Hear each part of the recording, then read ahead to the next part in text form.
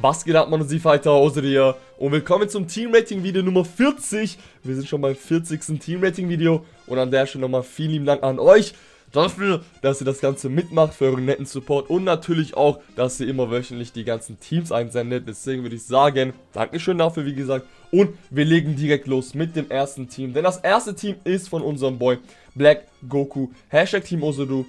Das ist mein Extreme Team. Meine Rotationen sehen so aus. Rotation 1, Tech Freezer und physisch cooler. Sehr gute Rotation. Und die Zeitrotation in Kid Boon und in Buhan.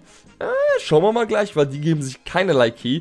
Oder alle Androids und Super 17. Hätte gerne Verbesserungsvorschläge. Alles klar, also das, die Rotation mit den Androids sieht schon mal oder hört schon mal ein bisschen besser an.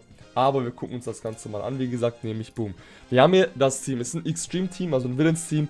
Jeder Charakter gehört zu der, zum Leader Skill wollte gerade Kategorie sagen, aber gehört zum Niederskill, denn es sind Villains und wir wissen ja, Freezer geht in Extreme Class Charakteren Key plus 3 auf 400 mit 120%, deswegen haben wir hier schon mal 6 von 10 Punkte. Alle sind Max Level, Max Awake, richtig 8 von 10 Punkten an der Stelle. Alles klar, was gibt es zu sagen? Du hast ja auf jeden Fall in diesem Team eine Rotation, die benutzt du immer. Das ist nämlich Freezer und Cooler. Die teilen sich 6 Link-Skills, die sind auf jeden Fall gut gedeckt. Jetzt die andere Rotation, die Frage. Du fragst quasi, soll ich Kidbo und Buhan in einer Rotation halten oder Super 17 mit den LA Androids? Du merkst schon, das sind drei Rotationen. Deswegen würde ich euch erstmal ausfolgend immer sagen, entscheidet euch für zwei Rotationen, nehmt einen Rotationscharakter mit, der quasi ein Supporter ist, in irgendeiner Art und Weise, und noch einen, der entweder individuell stark ist oder auch eben so einen supportlastigen, so ein supportlastiger Charakter ist, sei es mit Stun, etc. etc. Heißt, wir werden uns erstmal auf jeden Fall das Team ein bisschen umstrukturieren. Wir müssen uns erstmal darauf einigen, welche zweite Rotation wollen wir zu der, die wir schon haben, nämlich Freezer und Cooler. Naja, Kidbo und Buhan, Kidbo und Buhan, die teilen sich gute Link-Skills, die für ihren, die ihren Angriff boosten. Außerhalb davon keinerlei Key, denn Kidbu hat in seinem Setup kein Link-Skill, der ihm Key gibt. Da ist das Problem an Kidbu. Heißt, die Kidbu-Buan-Rotation, da wird es schwer sein, auf beide Ultis zu kommen. Denn wir sind hier in einem Freezer-Team und nicht in einem Rosé-Villain-Team.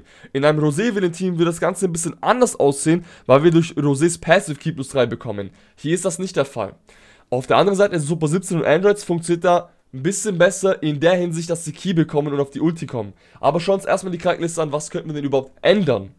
Nun ja, meine Freunde, wir haben jetzt zum einen Int Metal Cooler. Das ist ein sehr guter Supporter, wäre ein sehr guter Rotationscharakter. Er gibt Extreme Class Verbündeten Key plus 2 und jeden quasi ansonsten auf den Angriff 30% sollten das sein, 30 oder 25%, werden wir uns gleich ansehen. Außerhalb davon haben wir Full Power Freezer und zum Beispiel Golden Freezer.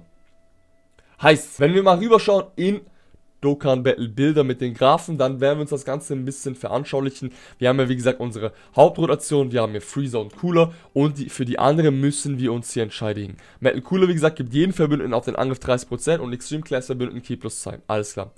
So, welche Rotation wählen wir? Nun, es liegt jetzt quasi erstmal an dir. Ich weiß nicht, wie wichtig dir die Rotationen sind, ob du unbedingt Super 17 spielen willst oder Androids oder Kidbo und Wuhan. Deswegen werde ich dir mal ein paar Vorschläge ähm, geben.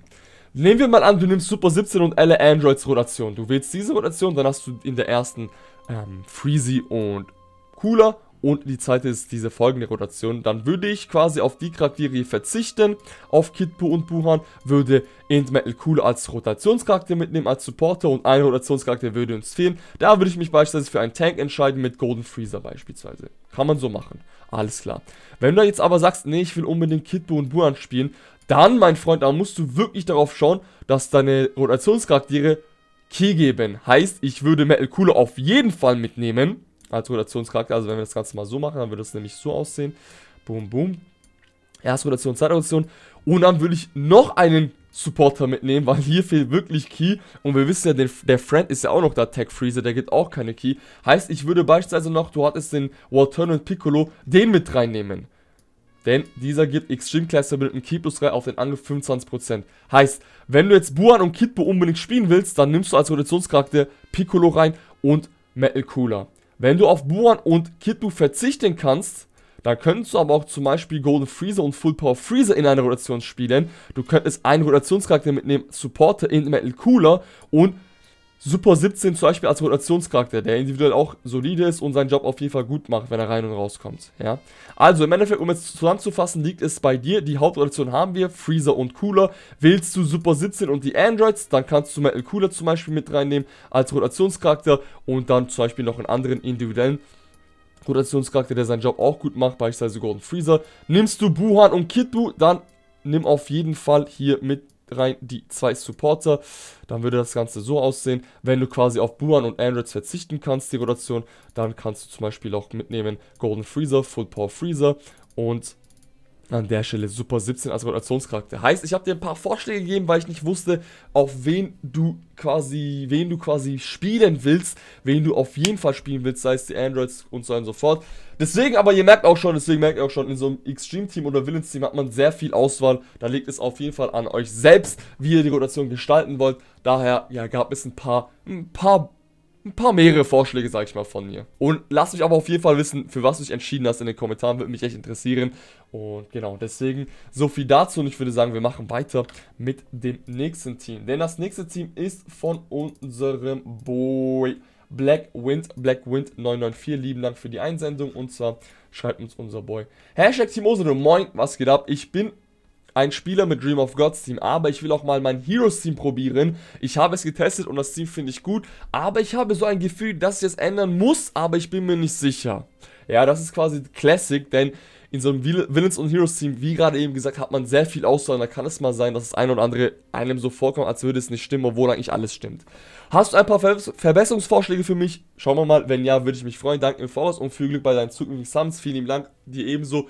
Hashtag Road to 20k. Danke, mein Freund. Dankeschön. Okay, und zwar haben wir, wie gesagt, ein Heroes-Team. Super Saiyan Goku ist der Leader. Er gibt jedem Key plus 3 auf 120%. 6 von 10 Punkten. Alle gehören zum Leader-Skill. Alle sind Max Level, Max Awake, 8 von 10 Punkten. Alles klar, Freunde. Wie gesagt, zum Beispiel in der Konstellation hast du eine Rotation LR Vegito, LR Gogeta und ich zeige dir zum Beispiel Tech Vegito Blue mit Super Gogeta. Warum? Sie haben Over the Flash, sind Fused Charaktere, Fused Fighter, Fused Battle und ein Super Saiyan. Alles klar, alles schön und gut. Wo, wobei quasi dem einen oder anderen eine Frage kommt oder der ein oder andere, der ein oder andere sich vielleicht äh, fragt, ja, vielleicht kann man da noch was besser machen im Heroes Team oder Villains Team, vielleicht geht noch das oder jenes. Freunde, wie gesagt, das Team, das funktioniert, mein Freund. Das ist ein sehr schönes Team, damit bist du auf jeden Fall gut gedeckt. Aber wenn wir uns mal die Charaktere ansehen, dann hast du noch weitaus, also bessere nicht, aber weitaus äh, gute weitere Charaktere. Heroes-Charaktere. Und da stellt sich wahrscheinlich den einen oder anderen die Frage, hm, was mache ich da? Meine Freunde, ihr könnt da wirklich vieles machen. Denn ihr habt, ihr merkt es schon, Luxusprobleme. Der eine oder andere wahrscheinlich. Denn unser Boy hat hier noch zum Beispiel LR Super Saiyan 3 Goku, LR Trunks, Super Saiyan 3 Angel Goku, Super Saiyan 4 Gogeta, 100% Kevlar, Super Vegito Physisch. Der hat die alle nicht im Team. Wir haben ja auch nur begrenzt Platz. Heißt, an der Stelle liegt es immer an euch. Wählt euch vor allem bei einem Heroes oder Villains Team eine Thematik. Wollt ihr zum Beispiel, oder bevor ich darauf eingehe, manchmal macht man eigentlich immer gerne, man klatscht einfach alle LR rein. Das passt nicht immer, das passt nicht immer, weil die LR haben nicht immer dieselben Link-Skill. Zum Beispiel, unser Boy hat hier noch kein LR Super Saiyan 3 Goku im Team oder LR Super Saiyan Trunks. Super Saiyan 3 Goku ist wirklich eigen, äh, einzigartig in der Hinsicht, dass er immer die Ultra Super Attack starten will und dafür braucht er auf jeden Fall Over der Flash. Heißt, wenn wir hier zum Beispiel Super Saiyan 3 Goku reinpacken, dann hätten wir zum Beispiel zwar Tech, Vegeta Blue, Ui Goku und Super Vegeta mit Over der Flash, aber wenn wir jetzt zum Beispiel alle LR drin haben wollen, dann hat das LR äh, Vegito, LR Gogeta und LR Trunks nicht. Deswegen, jetzt zurück zu der Thematik, wählt euch eine Thematik aus. Beispielsweise, wenn du jetzt zum Beispiel ein Over in der Flash Team bauen willst, um eben LR Super Saiyan 3 Goku zur Schau zu stellen, dann nimmst du LR Super Saiyan 3 Goku rein, Super Gogeta nimmst du rein, Angel Super Saiyan 3 Goku nimmst du rein, Super Saiyan 4 Gogeta nimmst du rein, Tech Vegito Blue nimmst du rein, Ui Goku nimmst du rein. Dann hast du ein schönes Team, was sich um Super Saiyan 3 Goku dreht. Willst du ein Team, wo du quasi viele deiner guten Charaktere verwerten willst? Dann ist das Team, dann, dann kommt das Team schon dem eigentlich recht nah. Könntest zum Beispiel noch Ui Goku raushauen für Super Saiyan 4 Gogeta, weil der hat noch Super Saiyan. Oder ist auch ein Fusion-Charakter, der Fuse Fighter hat. Heißt, wenn du zum Beispiel dein Team um, den, um die Fusion-Charaktere drehen willst, dann klatscht du super gut, also ja, dann klatscht du quasi die Fusion-Charaktere rein. Ob egal, Potara oder Fusion, denn sind ja Heroes bekommen einen Hero-Leader-Skill. Also könntest du reinhauen, physisch Super Vegito, 4 Goeta, Tech Vegito Blue, Kevlar, Super Vegeta und, und, und, Freunde. Heißt, mein Freund, du hast eigentlich im Endeffekt alles richtig gemacht. musst du dir keine Gedanken machen. Du hat, man hat halt quasi Luxusprobleme in der Hinsicht, dass man sehr viel Auswahl hat. Und deswegen habt ihr keine Scheu. Probiert immer die Teams, auf die ihr gerade Bock habt. Nehmt die Charaktere vor allem in ein Villains- und Heroes-Team rein, auf die ihr gerade Bock habt, Bock habt. Und dann seid ihr da auf jeden Fall gut gedeckt. Okay, so viel dazu. Das nächste Team ist hier an der Stelle von unserem Boy Boozer. Boozer, lieben Dank fürs einsenden. Und zwar schreibt uns unser Boy Hashtag Team Ozuru. Kannst du mein Potara-Team bewerten? Spiele Free-to-Play. Dein Smiley, dein Smiley sagt mir schon was. Ja, jetzt passt mal auf, Freunde. Und zwar nämlich unser Boy Free-to-Play. Ah ja, der hat nur die Krankenliste eingesendet. Das ist unser Boy Free-to-Play. Okay, Boozer. Zum einen sehe ich du hast noch 148 Stones. Raus damit, raus damit. Free-to-Play-Spieler alle Stones raushauen. Nein, Spaß. Free-to-Play-Spieler. Spart eure Stones immer darauf, wo ihr quasi summonen wollt. Außerhalb quasi von dem Side-Joke haben wir hier ein Free-to-Play-Team von einem Free-to-Play-Spieler, also Free-to-Play-Team nicht, sondern wir haben hier ein Team von einem Free-to-Play-Spieler, um es besser zu sagen, weil das Team sind quasi keine Free-to-Play-Charaktere. Aber ja, da er ein Free-to-Play-Spieler ist, hat er quasi dieses Team und kann von sich behaupten, ja, das ist mein Free-to-Play-Team in Anführungsstrichen. Das sind aber keine Free-to-Play-Charaktere, um es mal quasi, weil vor ein paar Tagen oder so habe ich mal, kam ich mal auf so einen, auf so einen Kommentar so in etwa, hey, ich bin doch Free-to-Play, das ist mein Free-to-Play-Team. Wenn ich Free-to-Play-Teams vorstelle, dann meine ich quasi, dass die Charaktere auch Free-to-Play sind. Außerhalb davon hat unser Boy, ein Free-to-Play-Spieler, 100% LR Vegito. Das ist sehr viel Glück, da wird der eine oder andere wahrscheinlich neidisch sein. Ich gratuliere dir anyway. Wir haben ein Potara-Team, LR Vegito ist der Leader, dann haben wir physisch Super Vegito drin, Tech Vegito Blue, Goku Black, LR, Rosé und Supporter Vegito. Goku Black, Rosé, also LR Goku Black und Rosé Strength in einer Rotation. Andere kannst zum Beispiel lassen Tech Vegito nur mit Physisch Super Vegito. Oder wenn du Bock auf hast, dann LR Vegito kannst du dann auch irgendwo mit reinpacken. Zum Beispiel mit Physisch Super Vegito. Und wir haben einen Supporter Rotationscharakter Tech Vegito. Und Freunde, um es kurz zu sagen, das ist das beste Potara-Team. Heißt, unser Boy hat ja an der Stelle 10 von 10 Punkten. Gratuliere dir. So sieht das beste Potara-Team aus mit Innovationen, die ich euch gerade genannt habe. Eigentlich hält man physisch Super Vegito mit Tech Vegito Blue in einer Rotation und LA Goku Black mit Strength Rosé. Aber ihr könnt auch LA Vegito zum Beispiel mit physisch Super Vegito halten, denn die haben Prepare for Battle und da sind sie auf jeden Fall sehr gut gedeckt.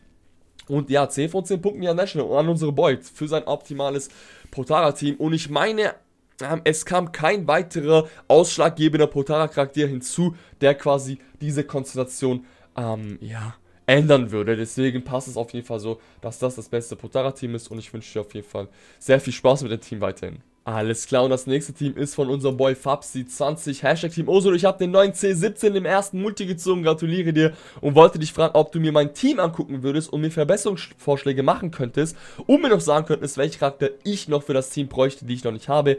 Danke schon im Voraus, kein Thema, machen wir auf jeden Fall. Die Tage, Freunde, wird euch auf jeden Fall auf euch noch zukommen, ein Android Team Build Guide auf beiden Versionen JP und Global. Darauf könnt ihr euch gefasst machen, heißt, wir werden heute im Team Rating Video mal einen kurzen Vorschau sehen darauf, wie ein Android-Team aussehen könnte. Unser Boy hat C17 gezogen, er hat quasi hier ein Android-Team, er hat all seine Android-Charaktere in das Team verpackt. Jeder gehört zum Leader-Skill, 6 von 10 Punkte. Alle sind aber nicht Max-Level, nicht Max-Awake, deswegen bleibt es vorerst bei dem 6 von 10 Punkten.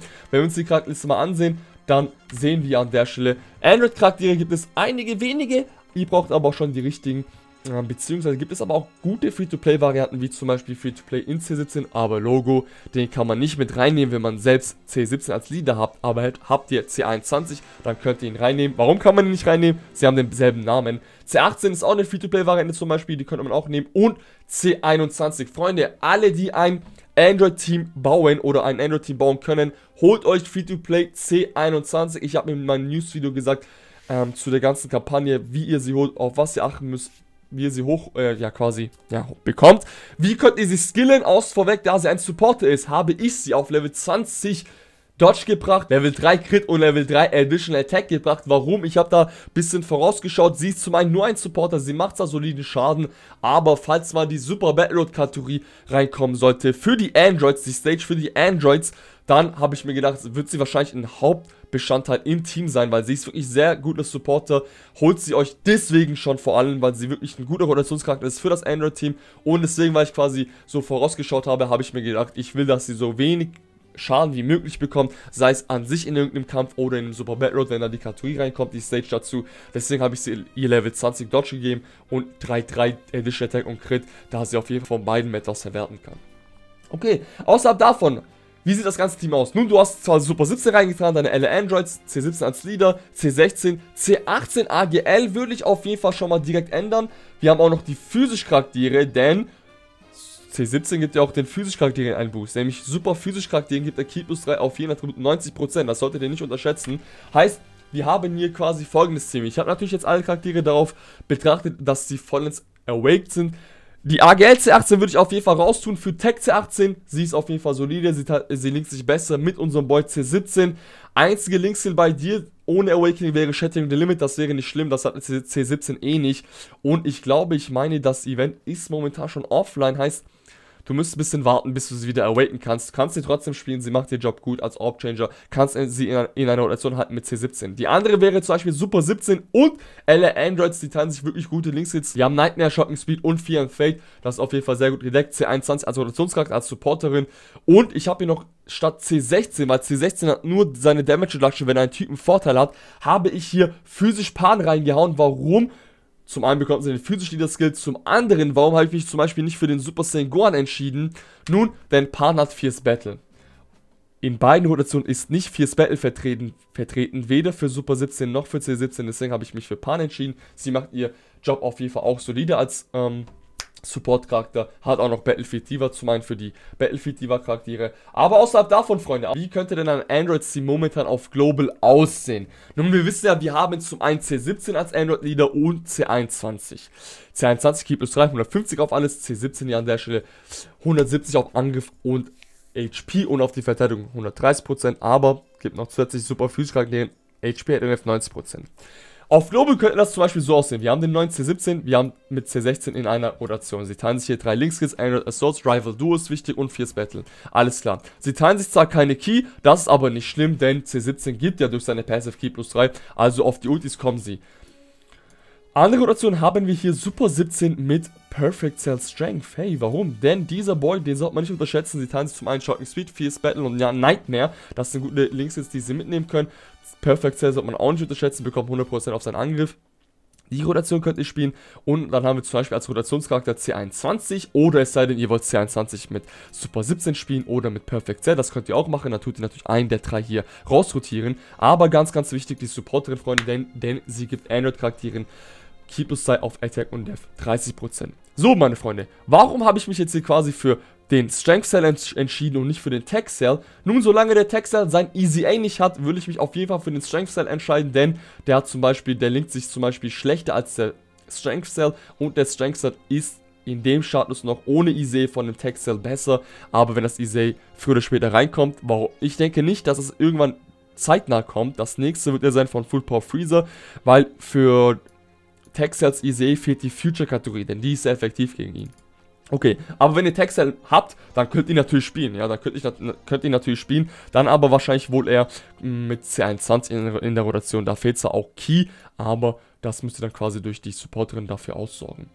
Außerhalb davon könnt ihr natürlich auch, wenn ihr dieses Team nicht habt, könnt ihr natürlich C18 reintun, wenn ihr C18 nicht habt, äh, statt C16 und so weiter und so fort, Freunde. Ihr könnt auf jeden Fall gut was machen. Und vor allem hier, den sollten wir nicht unterschätzen, Hellfighter 17 in einer Rotation mit Super 17 teilen sich 6 Linkskits. Den könnt ihr auf jeden Fall auch verwerten. Aber wenn ich mich quasi aus dem Pool, die wir gerade haben, aus Global, würde ich mich für so ein Team entscheiden, was wirklich sehr gut aussehen könnte für ein Android-Team. Außerhalb davon, Freunde, wie gesagt, wäre es das für das heutige Team-Rating-Video. Demnächst wird euch ein Android-Team-Build-Guide auf jeden Fall noch ähm, auf euch zukommen für beide Versionen auf JP und Global, denn auf JP haben wir noch LSL, deswegen werden wir da ein bisschen auf jeden Fall Spaß haben. Bis dann, hoffe ich, das Ganze hat euch gefallen. Wenn ja, gebt den Ganzen ein Like und wir sehen uns das nächste Mal. Peace. When I pull up at your girl, mommy wanna be my word. You a man, bro, don't you cry. I'ma get her back after I'm done, I'm done. Next time you ain't won't be alright.